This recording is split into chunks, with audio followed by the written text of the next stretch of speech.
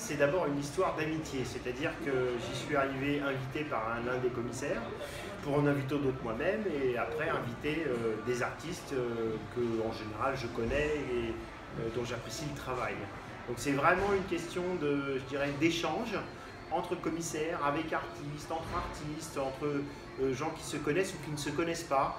et c'est vrai que ce que j'apprécie tout particulièrement, c'est c'est cette question de, réseau, presque dans une certaine mesure, euh, année après année, euh, de, famille avec des gens qui en partent et d'autres qui y arrivent.